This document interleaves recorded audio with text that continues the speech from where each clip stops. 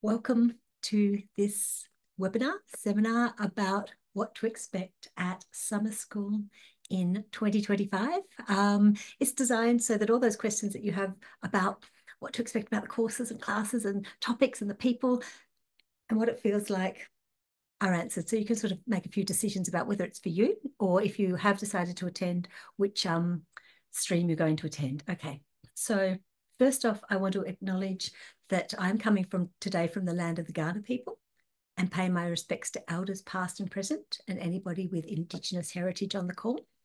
Sovereignty was never ceded. If you'd like to put where you're coming from today, please do feel free. So as an ARDC event, um, we have our code of conduct and we expect people to behave in a respectful way to each other. Um, we haven't an, uh, enabled closed captions, but we are recording this just so people know. Um, if you'd like to turn on your video so you can see each other, please feel free. Um, and if you've got questions during the session, please post in the Zoom chat and at the end we'll sort of collate them. So again, some of this material, um, some of the material that's going to be shared is copyright, so please don't on-share it. And we're starting with poll. The poll, the question is, have you registered for summer school? So can people please um, either answer or use that QR code to indicate. And I'm going to see if I can find the poll so I can see what's happening. Okay, so we've got 37% have registered, 33% uh, intend to register, and 30% haven't registered. So we've got about 30, 30, 30, which is kind of nice. We're getting more registrants now. I will leave that running, and as people join, we'll see more. But that's just interesting to, to sort of get an idea of um, who's here in the room.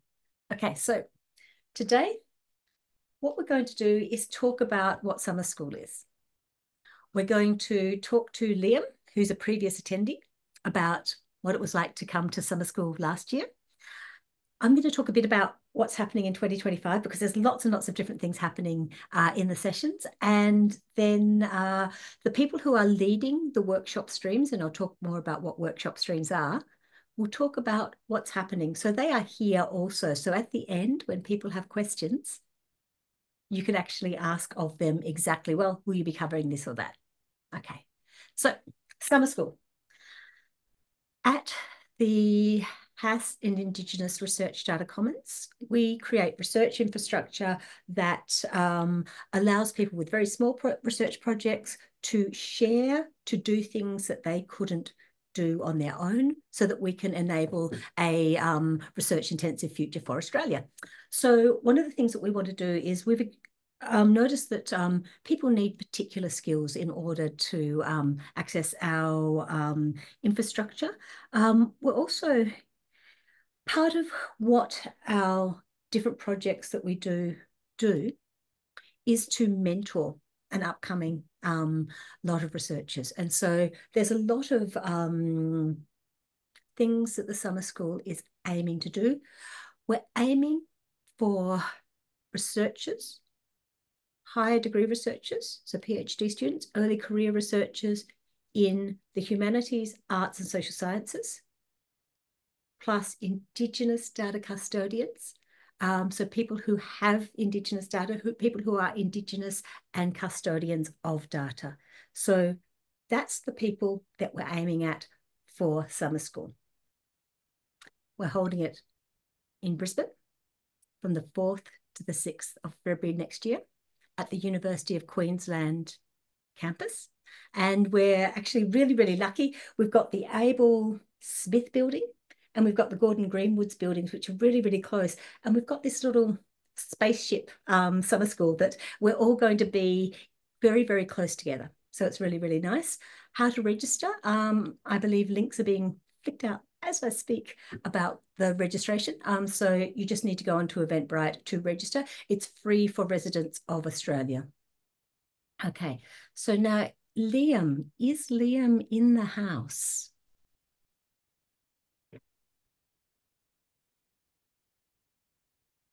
I suspect Liam is not in the house, so we're going to go to plan B. So this is sort of something we thought of maybe a minute ago, which is what's it like to attend summer school. Simon was there last year. So I guess in yep, in Brisbane this year, in um, Melbourne this year, earlier this year, summer school was held over three days at um, Monash University, not Clayton. Caulfield. Caulfield. Thank you very much. Um, so over three days, we had workshops, we had case studies um, across the campus. Um, Simon, how many um, summer schools have you actually been to, apart from the last one? I was at the first one as well in 2022. Cool. Okay. And in terms of atmosphere, if somebody isn't sure that they know enough to be at summer school. Um, what was your sort of feeling about that? I think that there's no reason for anybody to feel worried that they don't know enough to come to the summer school. Uh, a lot of the material starts from the assumption that people don't have a deep background. A lot of it is tailored for people who are starting out because we know that we're covering topics that a lot of people may never really have thought about. And also, I would say my experience is that the there's fantastic peer relationships that go on, and that people who maybe don't know so much about one topic interact with people who do know about that topic, and it benefits everybody that way. That you know, you you share knowledge, you find people who can maybe help you along, and there's no reason to be scared of not having knowledge to begin with. Yeah, I, I think what I've observed is sometimes people might not know what an application programming interface is, an API, for example, but they've got all this disciplinary knowledge that once they know that, they think, well, that could happen and that could happen and that could happen. And so somebody who's got that technical knowledge is suddenly talking to somebody who's got this research use. And I think that the technical skills, part of it is actually that seeding and that conversation. Absolutely. Um, the, the the overall aim, I guess, that I see for the summer school is to, to broaden people's tool sets, to broaden the research culture that people are being trained in. And absolutely, disciplinary knowledge is part of that. And we know that people bring that, but there's also a whole sort of methodological knowledge and technological knowledge, which people are going to have different levels of comfort with and will help you to get across what you need that can help your research. Yeah, and and in terms of food, did people go hungry? Oh, oh no, no, there was plenty of food. Um, and aside from food, the actual the the space where we had refreshments turned into you know a fabulous hub for everybody. The noise level in that room was unbelievable on some food breaks. I was almost had to run away to get quiet sometimes. But it was really exciting, the buzz. Yeah, and we've just we've deliberately designed that. So we've got the um foyer is going to be where people have food, but we're going to have sort of stuff up on the walls, and that's a space. But also we've got some classrooms that people can go to. So yeah, part of what we're doing, and I'll talk about it in a little bit, is that deliberate downtime for those connections to happen. Um, is there anything else you'd say to somebody who's sort of thinking about whether summer school is for them or not for them? I would say um, if you're even got to the stage of considering going, you should be coming. You already got some kind of interest, and I'm sure when you get there, you'll find lots of stuff that will interest you. Cool. And you don't have to go to everything. That's the other thing. If there's a lot of stuff there that looks like, oh gosh, this is too overwhelming, you can take downtime and just talk to that nice person about their skirt, which is a conversation I had. So yeah, Okay. Well, I, I might move on a bit to talking about some of the things that people are going to be doing, and then we'll go on to those people who are leading workshops, talking about what's going to be um, happening in those workshops. So, okay, this year, this year, and incidentally, this is a picture from um, last year. That's Uncle Michael Williams at the front who's talking to to the class. Um, so, the way that I sort of want to do it is I want to make sure everybody's learning to each, from each other. So everybody, there's so much enthusiasm, experience, and knowledge in the room. So the idea is we meet, we chat, we share, we learn, we inspire, we challenge and mentor, and then go away and make and do. So what I'm trying to do is I don't want people to think of summer school like once upon a time when you were at uni, where you were in the lecture theatre, and you were just looking at somebody, or at school when you had your hand up, or down, and it was just very linear. This is designed to make the connections between people happen. And we we've got quite a bit of space for that to happen. So on the first day, we're starting off gently with a number of 101 sessions. There's three reasons for that.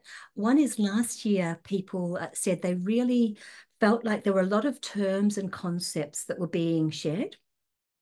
And they really felt like they needed just that introduction to get over it. So Part of that is for those people who aren't sure of particular terms and concepts, that's there.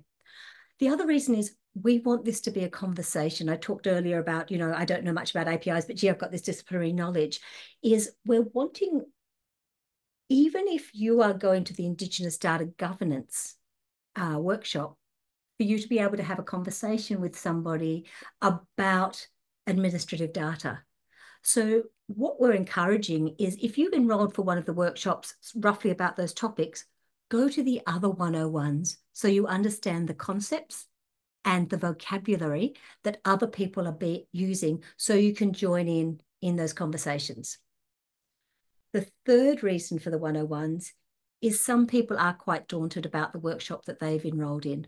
So although the workshops will start very low and go up, some people might think, look, I really, really want to know about Indigenous data governance from a 101, a basic conceptual vocabulary level, before I feel confident to tackle the workshop. So they're the reasons. One is people said we want basic introductions so that you can be part of the conversation. Go to one that isn't the one that you've enrolled in, or if you're feeling really, really unsure, there is something that can give you grounding. Okay. On day two, we've got three case studies. People said last year that they wanted to see a lot of this stuff applied. So we actually have that um, in three case studies, which are going to be recorded, and there'll be a chance to um, talk to people. A lot of what we're wanting to do is, yes, people are giving sessions, but we're also encouraging people to be there for the whole three days. So if you see somebody talking about the time layered cultural map, and you don't know what that is, or you've got questions, you can actually find them afterwards and talk to them. Right in the middle of the event, we're going to have a data solutions exchange. The idea is that some people have some really cool, cool data tricks that they might have known for three years or they might be wanting to share. It might be that in the workshop so far, there's been a problem that people have had that said they've said, oh, look, I want to have that solved. It might be that people have problems with some research that they're doing and they've got a data problem. So the idea is that we cluster and group around these particular problems and solutions, and people can have a bird of a feather and be mentored through those solutions. But also, part of that can form an idea of what we cover in the workshops afterwards, or, or that can be brought in as we go. The explore and expand sessions. Last year, people said that um, it was a long day, and it was. So this year, we're running the formal proceedings on day one from 10 to 4, day two, 10 to 4, and then we're all going home at 2.30 on the last day. And that's deliberate because people are going to be working and thinking and engaging hard. So we actually don't want people to sort of get to the end of the day and be floppy. However, we know that it's going to be exciting, interesting. People are going to meet people who have a lot to offer and share. Stuff's going to come up in the workshop where the workshop pre presenter needs to say, look, we're not really covering that now. And what we've done is these explore and expand sessions, which are four to five on the first day, nine to 10 on the second, four to five on the second, and nine to 10 on the third. We have the classrooms open. We have all the material there. So we've got the internet, we've got um, projectors, we've got the people. So the idea is that we can run ad hoc sessions. So if within a workshop we find that we need an extra two hours on the workshop because it's taking longer it's getting really interesting, we can spill out into those sessions if the class would like to. If people have something that they hadn't thought about, but now they're really excited to talk about. If people have something that is relevant to HASS and Indigenous research that they'd like to be talking about, then that's a time when they can actually share um, that way. So the idea is that this is participant driven, but um, if people would like some mentorship about particular topics, that's a good place to also re um, request that. And the workshops. Okay, the workshops run across day one in the afternoon, day two in the afternoon, and then all day in day three. Okay, the idea is for each of them,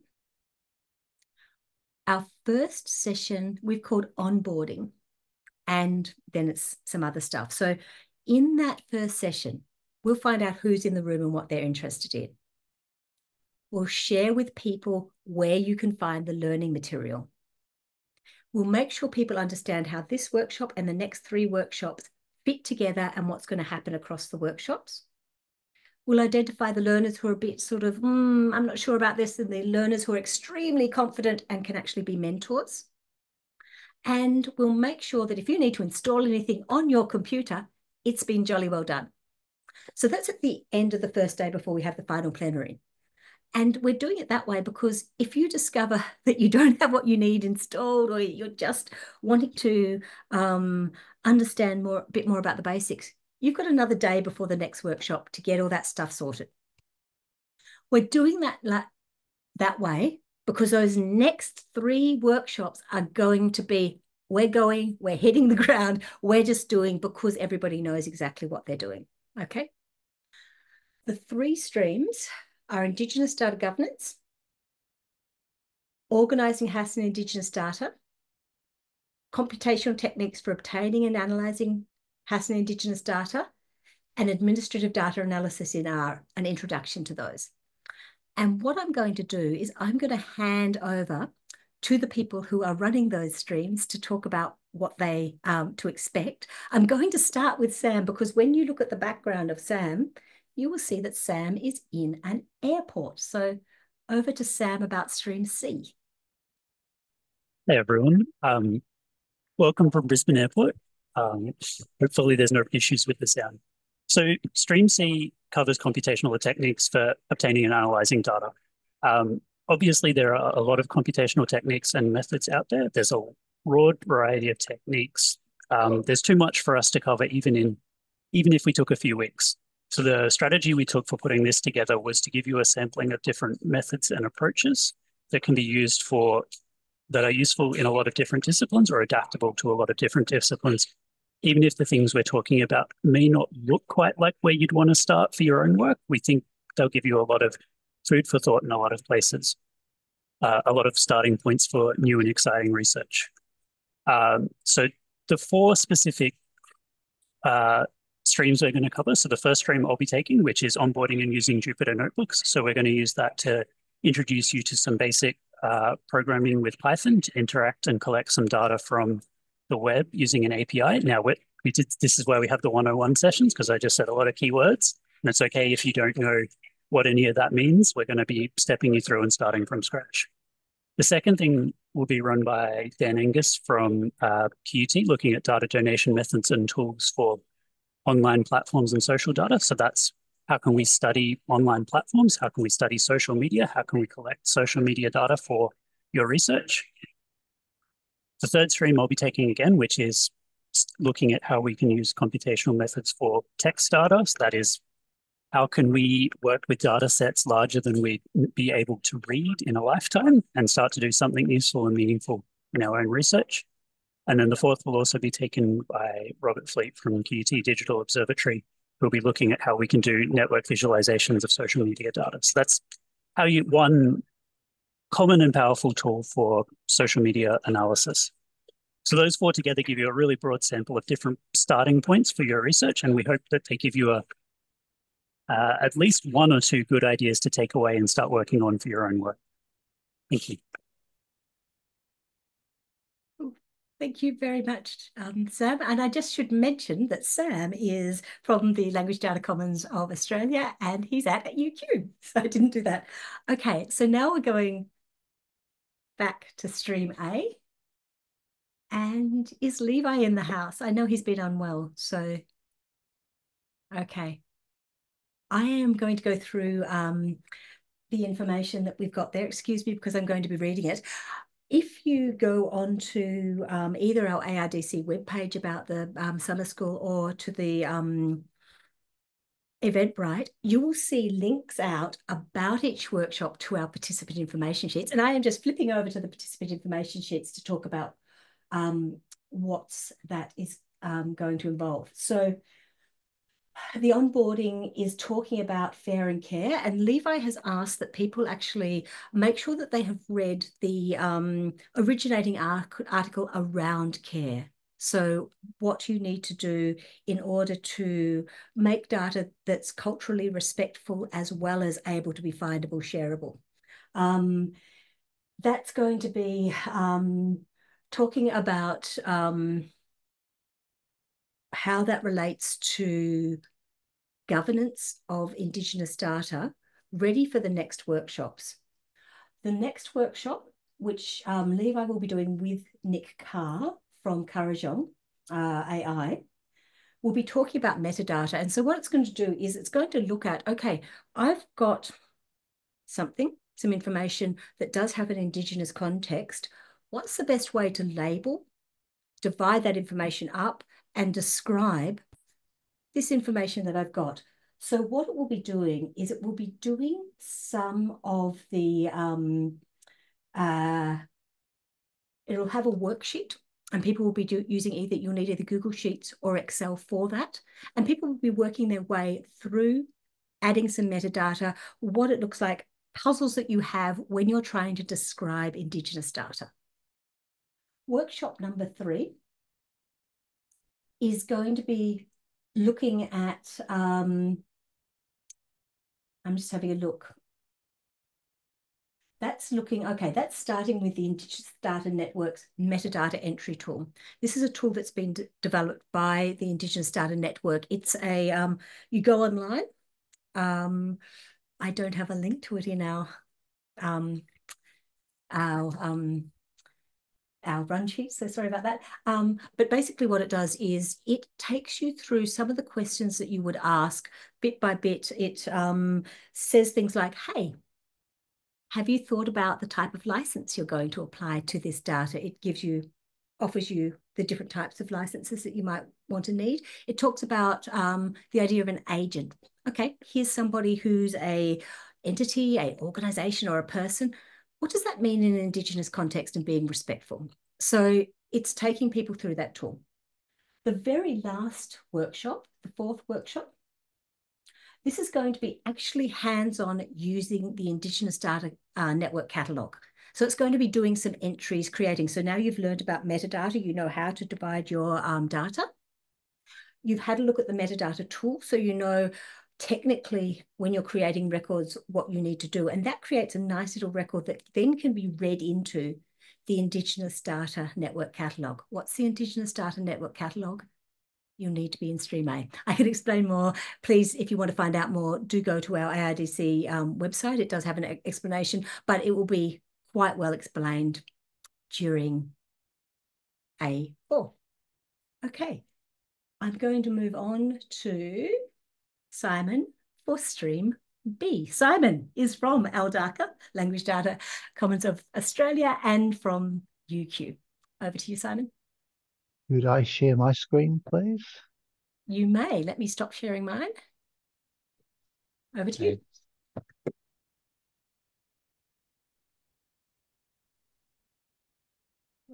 Uh, let me just get that into slideshow.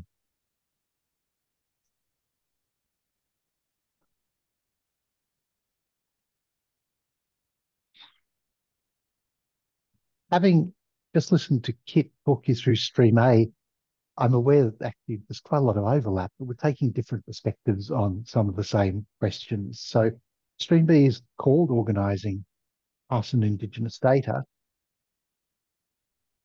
And the reason that we think that this is important information is because of the difficulty and the importance of collecting data to begin with.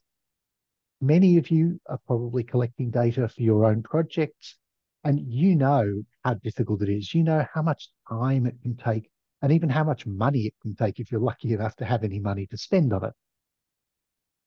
Given that you know you're devoting a lot of time and effort producing this material, you must believe that it's worthwhile, and that implies that you believe it's worth keeping it into the future and making it possible for other people to benefit from it as well. So the R in FAIR is for reusable, and reusable data is very crucial. And that's one of the things that we really want to focus on in this stream. How do we make data sustainable so that it can be reused in useful ways in the future? Now, I've just talked about people using your data, other people using your data in the future, but actually it's also worth thinking about it just from your point of view. And this is a great little message from the social media platform that shall not be named from a couple of years back. Someone saying, you know, it's really important just for you in the future to have data that's sustainable because you won't remember stuff about what you did. But if you've worked to make it useful into the future, then that can benefit you as well as other people. So that's that's point of view that we're coming from in this stream. The things that we're going to cover are, first of all, some basic concepts of data management and the idea of sustainability that I've just been talking about. And that will be you know, starting right from the beginning. What do we mean when we're talking about these concepts? Closely allied to what Kit talked about with the stream A, we'll be talking about the importance of really good metadata. The better the description you can attach to the data, the more useful it's going to be to people in the future. However, uh, and also it mentioned um, licensing, access conditions. We'll be going into that in some detail as well, because that's also really important you need to set out explicitly who's going to be able to do what kinds of things with which bits of material in the future. Otherwise, problems could arise. So we're going to look at these issues, but as any of you who may have had to deal with it might know, creating good metadata is actually pretty tedious. It's a time consuming, another time consuming job, and it's not much fun. So we're going to talk at the end, towards the end of the stream in the last couple of workshops, particularly in the last one, we're going to be looking at a way of putting your data and metadata together that makes them really useful, which is using a packaging standard called RO crates, which stands for Research Object Crates. And we'll be introducing you in a hands-on exercise to using a tool for editing, creating metadata and packaging things together as an RO crate. So you will actually get to work with your own data and you'll walk away with a genuine RO crate, which you could share with other people. And that's what we hope we'll get you to do in Stream C.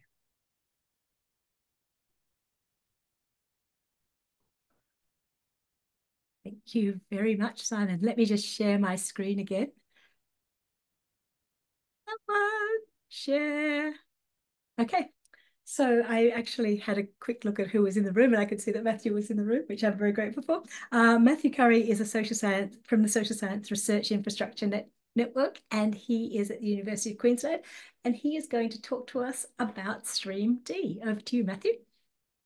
Hi, everyone. Um, thanks, Kit. Um, yeah, so um, I will, along with um, a, a, colleague from, um, from UQ here, uh, be our stream is kind of focused on administrative data analysis uh, using R. So it's going to be like a really basic level introduction. And the idea is um, to introduce government administrative data. So if you don't know what that is, quickly, it's like data that's collected about individuals in this case um, for purposes other than research, which has then kind of been repurposed for our use um, as, as social science researchers. So the the asset that we'll kind of be talking about um, contains Commonwealth government records. So like anytime you interact with Medicare or you interact with the ATO, so your tax return data, um, higher education data, all that sort of stuff gets um, sucked up by the government and some of it or most of it gets um, can be packaged and used for research. So we'll kind of introduce what there is in Australia and how you might use it and what you can learn from it. Um, and then we'll use R, which is an RStudio, which is a free software program for um, quantitative analysis. Um, and we'll we'll have you load in um, data that we make up that kind of looks like the real thing, but we, which we can't use because of um, privacy concerns for this class. Um, but we'll, we'll, kind of give you something in the same format. And we'll introduce some of the basics using live coding sessions. So um, the kind of second day, we'll be doing basic data manipulation stuff. So how do you explore the data? How do you modify and create new variables? Um, and then we'll kind of build on that in the third session, um, further manipulating data. So we will like subset data. So we'll take um, specific observations that we're interested in, or we'll take specific variables we're interested in, so we don't have to do everything on the whole data set. Um, we'll also join multiple data sets together. So these are all of the things that you need to understand and need to know how to do before you can actually get into the proper analysis. Um, and of course, it takes up most of your time. Um, and then in the final session, we will kind of use everything we've learned um, and we'll use our um, synthetic data set that we have been working on and manipulating this in the previous three sessions. Um, and we'll end up doing some regression analyses in R. So again, we'll kind of, if people aren't familiar with this, we'll, we'll walk you through um, everything and we'll kind of basically create a research question. We'll answer that research question with the, the kind of tools that we have and we'll end up creating um, or, or kind of going over some um, I guess pointers on on useful tips for interpreting results um, with the help of some graphs and tables, which we will also create um, in R together. So yeah. Thank you very, very much, Matthew. And I know that people probably have questions, but we'll leave them to the end um, for this. Um, if people are wondering how we got these topics, um, there's what we've done for the last three years and what's been received well there's feedback that people gave um, in the last summer school. About June, July this year, we actually had a big online workshop where we said, what should we be covering at summer school? And lots of people made a lot of, we just had, I think the number of categories, I think I had probably a hundred different categories from that in terms of the data. And then we talked with our partners who were actually going to do the delivery about what um, they had capacity to do and what they thought was important. So one of the things we're really interested in is whether we've actually got the right um, type of topics for um, people. We will very happily take for next year suggestions about different ways. But I'm actually really, really pleased with what we've got. They really dovetail nicely. And what I really like is we'll have a lot of really cool conversations as a result of people doing quite different things. But as um, Simon said, you know, there's that overlap. Stream A and Stream um, B probably have the most obvious overlap where they're doing similar stuff, but quite, quite um, from different coming from different points of view and actually if people are talking about what they've seen in each workshop, it just becomes richer and everybody learns from each other. Okay, so if you're still not sure about um, what you'd like to do and what stream you'd like to register into, one thing to know is because of the way we've structured it, where you know you've got your onboarding and then your um, everything for the next three workshops, people actually who are teaching people who are in the workshop have confidence that you know whatever was in the onboarding workshop and you've done that. So we don't need to re-explain, et cetera, et cetera, et cetera. So it's really important to know that these are simultaneous workshops. You can only go to one, but we're making sure there's lots of opportunities to discuss what's going on with each other. So if you have actually, we ask you as you register, which stream are you registering into? If you decide that um, you'd like to go to a different stream, just email contact at ardc.edu.au and we'll arrange for you to be swapped into another stream. Um, so it is sort of final, but if you're thinking now, you know, I, I really think I'd like to be in the other one. We've also got to help you decide We've got the Choose Your Summer School Pathway, which talks about, you know, this is what's going to be covered, but it's also a nice way to actually see what the conversation is if you're not quite sure whether summer school is for you or not. We've also got, and the example I've got on the screen is for um, the second workshop in Stream B, these participant information sheets where it tells you exactly what prep you need, who's doing it, why you need to learn it, what's going to be covered, and you can see how the different workshops in your stream relate to each other. So please um, do have a look at the timetable and the agenda for the summer school. Please have a look at these participant information sheets. And then if you've got questions about a lot of it, we've got the contact um, uh, address, but um, I'm also happy once um, that's gone through there to actually answer some of those questions. So there's another couple of things I want to talk about, and then we're going to open the floor to whatever you would like to ask. And incidentally, I haven't been looking at the questions in chat because I don't have enough brains to do that. So I do apologize. So I'll, I'll need some help with that. Okay. The other thing to know is that we're offering 10 $1,000 travel bursaries for people to attend summer school. This is people who um, are HASS and Indigenous researchers and or custodians of Indigenous data. Um, you need to live outside the um, Greater Brisbane area because we're holding it in Brisbane and we move the summer school around to different capital cities each year. Um, so there's details about that on the ARDC webpage and in the Eventbrite registration. We also have travel bursaries to the other event that we're running um, the day before summer school, some smaller travel bursaries, which is the Indigenous Data Governance Masterclass. Now, this is a day at the State Library of Queensland for all researchers, not just HASS Indigenous researchers. It's for Indigenous data custodians. And we're going to be looking at the, um, you know, the State Library of Queensland's collections. We're going to be looking at the type of data that some Indigenous data custodians have. We're going to be looking at, okay, so what is Indigenous data and data governance and why has it um, arisen and why is it important? And at the end, we're looking at how you apply a tool that's just about to be released called the Indigenous Data Governance Matrix to your Indigenous uh, data. So in, Indigenous data governance stream for summer school is quite technical. You're seeing how to do hands-on, you're seeing how to use a lot of tools, you're getting a really a quite techie background for the Indigenous Data Governance Masterclass, it's much more discussions of the why, seeing the wide range of Indigenous data that is there, if that makes sense. Okay, so now over to you. Um, I know that Mary's probably been monitoring the questions in the um, chat, so I might turn to Mary to sort of point us out to some key questions, and then maybe the people who have asked them can talk if they would like to. I haven't actually, I don't think I've seen any kids. I think we're okay, okay, cool. And I will stop sharing my screen. So in that case, I will turn it over to um, whether people do have any questions. Feel free to put up your hand using the put up your hand um, option in Zoom. Or if nobody sort of starts talking, you can just start talking.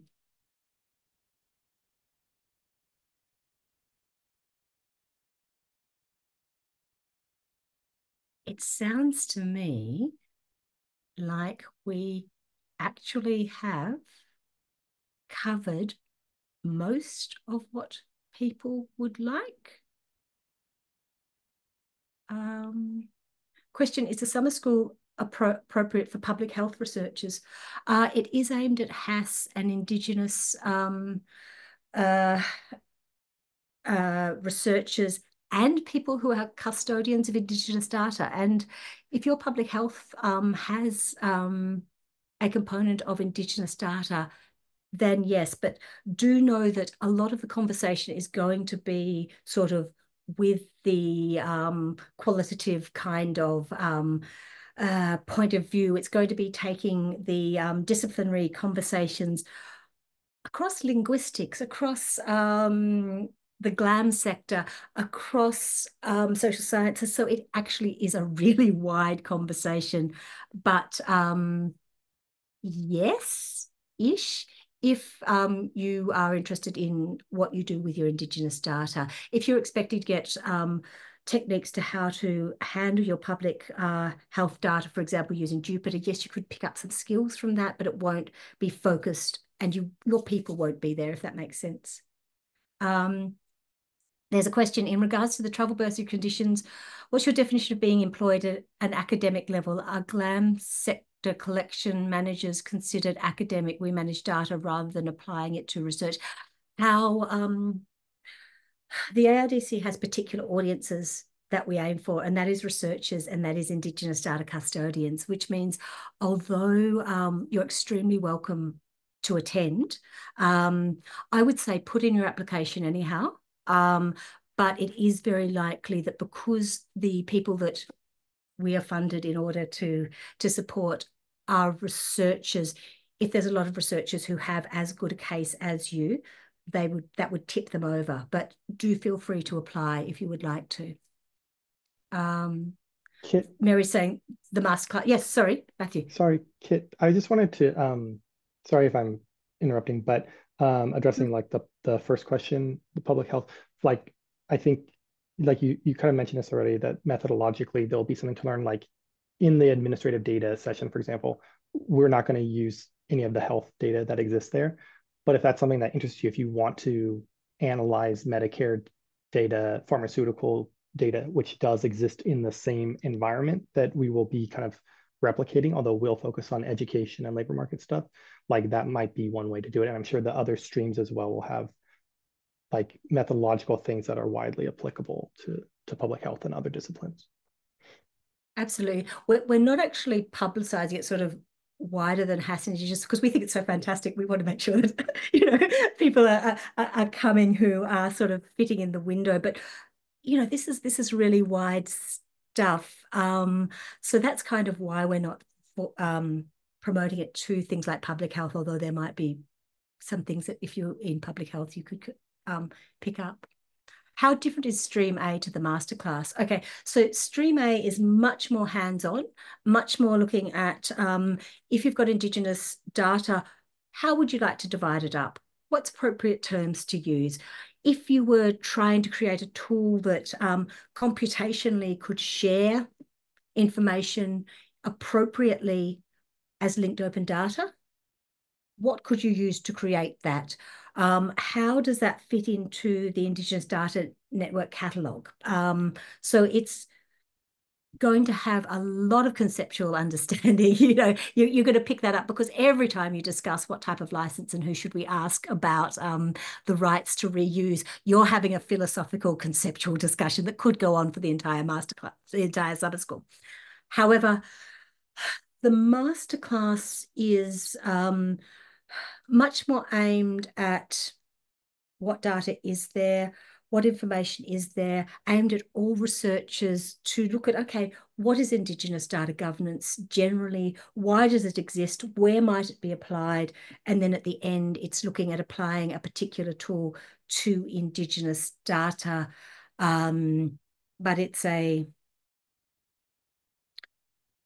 have you thought about this kind of tool? Not a let's make a something that's code kind of tool, if that makes sense. Um, so does that answer? Or I'm, I'm happy to try and explain more about the difference between those two. Um, I'm not currently in research, but I intend to be in the near future. Will the summer school still be beneficial for me as an introduction or best to wait until I have more experience? We would prefer people to actually be researchers or custodians of Indigenous data. Um, so yes, you could possibly get some, something out of it, but um, this won't be, as far as I know, our last summer school. So you might be better off waiting until you can be part of the discussions that people are having about what's it like to be a researcher, what's it like to be an Indigenous data custodian. Um, basically, anyone who turned up, you know, who had any experience could enrich or learn from what we're going to do. So I don't want to say, oh, it's not relevant, but I would I would advise um, when you're studying and can bring stuff back to your institution, sort of apply it. That might be better. Um, I wonder if any of the sessions will be recorded and available later, and if any of the resources, including PowerPoints, will be available later. For example, if it isn't possible to attend, will there be access to these resources subsequently? That's a really good question, and I've been discussing some of that with people uh, in the last week, and some of it we decided early on. Because it's about conversations and it's about stuff going backward and forward, we've decided that the 101 sessions, every one of those is going to be recorded. Those basic conceptual vocabulary uh, introductions, they are all going to be recorded and shared. On day two, the case studies talking about how they're applied. We're going to have written versions of them put on our website. We're going to have recordings of those, again, put on our website. All the rest isn't going to be recorded to allow that free flow of conversation. The slides we had a thought, think about that. A lot of people don't use slides as handouts. They use handouts as handouts. Um, and what we thought we would do, and this is a surprise to the speakers because it was in the context of what are we going to tell speakers about their slides, is we thought that we'd make that a um, negotiation with the speakers themselves um, and if they want to put their slides up, we will have a place for them. But we're not going to insist that people have their slides up or share their slides because some of it, last year we had people who had confidential data that they really couldn't share. Some people just prefer not to share in that way because some of these workshops are going to be sort of not necessarily following the slides. So yes, we've tried to make sure that there are some really clear. These are going to be recorded and we'll be putting them up. And the rest of it probably not going to be recorded, although we will be um, writing an article about it to sort of talk about some of the key things and conversations that happened. Um, and if, when I answer these, I don't fully answer what you'd like to hear, please do come back to me but I'm going to go on to the next one. Would you recommend that registrants of Stream A also attend the Indigenous Data Governance Masterclass? Not necessarily. Um, uh, it depends what you would like to get out of both. It's certainly not necessary in order to um, attend to understand Stream A to have gone to the Indigenous Data Governance Masterclass. Frankie, I saw you unmuted. Did you have more you wanted to ask? Sorry, that was a mistake. Oh, cool. okay. Um, can you give example of what tools would be used in Stream C? I work in data science and dipping into data governance a bit. I'm torn between A and C. I wonder if A would give me more to take home. I'm going to talk to Sam because I know he was deciding what tools he was going to be using. Is he still here or has he gone and caught his plane? His flight got pulled.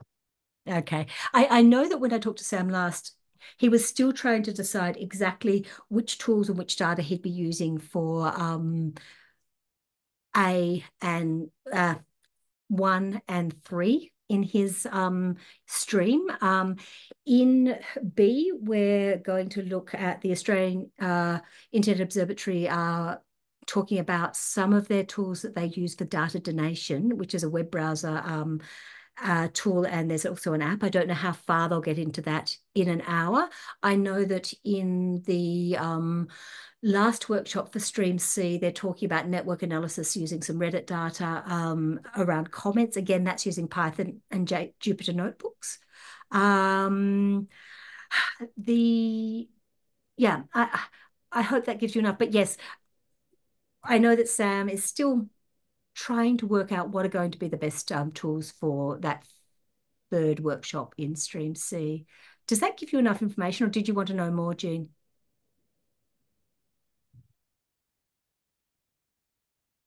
Okay. Um, Sam, I can see a comment which is great. Thank you. Does the same apply to the master for the masterclass? I'm sorry, I can't remember what the original question that matches to is. Mary? Uh, the question was I'm not currently in research, but I intend to be okay. in the future. Um, Look, the masterclass is aimed at all researchers and it's aimed at all Indigenous data custodians. So, and at the GLAM sector. So, I would say it will give you food to thought. If for thought, if you don't have um, a problem you're trying to nut out, you won't be able to anchor it into um, what you're trying to do. So it might be harder to digest, understand, use and reuse the information. We have 200 places. We've got um, twice the many places as for the summer school. So yeah, I would say that would be probably a more appropriate um, one to go to. Um, Donnie, I'm currently collecting data film on country with Indigenous participants. Are there any sessions that touch on Indigenous data sovereignty or are they embedded in the stream sessions? Uh, it will be throughout the entire, it'll permeate the entire summer school. I can tell you if it's anything like last year. Um, but definitely um, it will be in the streams. I know that um, also in Stream B, what Simon's doing, you'll be very, very aware of Indigenous data sovereignty and you'll be talking about you know the care principles and why um, some of the decisions around metadata should be made in the way that they are. Every um, stream is going to bring it in in some way. The other thing is that um, because we're trying to learn about the people who are in the room from the very start, one of the icebreaker things we're trying to do is actually say, okay, who's in the room? What do you research? What do you want to learn? We can sort of skew it towards what people want to know within reason. So if you um, are saying, I want to know about Indigenous data sovereignty, or I want to share a lot about Indigenous sovereignty and about the problems that I'm having, particularly with my non-text media, then it may well be that one of those explore and expand sessions we can actually do um, with your particular data, your particular problem, and somebody who's got an interest and expertise in Indigenous data sovereignty, put them together and have them as one of those explore and expand sessions. Or it's a bloody good lunchtime session, so uh, discussion. So um, I'm without knowing exactly what Levi's covering, it will be rooted in Indigenous understandings of Indigenous data sovereignty, um, as Indigenous data governance is, but not a session specifically about Indigenous data sovereignty, if that makes sense. Is, is that what you were after? Cool. Yeah, it sounds like it was. Okay. I'm just really excited by all the questions that people have had. They're, they're, they're really good and they're very, very useful. And they're things that I thought people probably would be wanting to know. Are there other questions that people would like to ask before we go on to the, hey, thank you very much.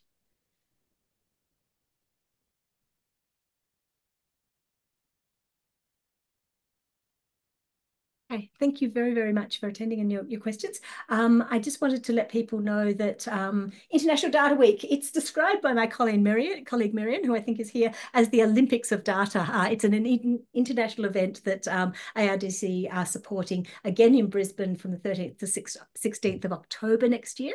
So it's sort of something we'd like to promote.